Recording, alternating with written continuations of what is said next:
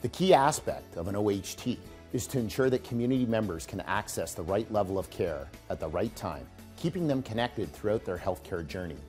As strengthening relationships and smoothing processes across healthcare providers is a primary OHT objective, Stevenson has been the lead agency and continues to play a pivotal role in the design and implementation of the care continuum in South Simcoe.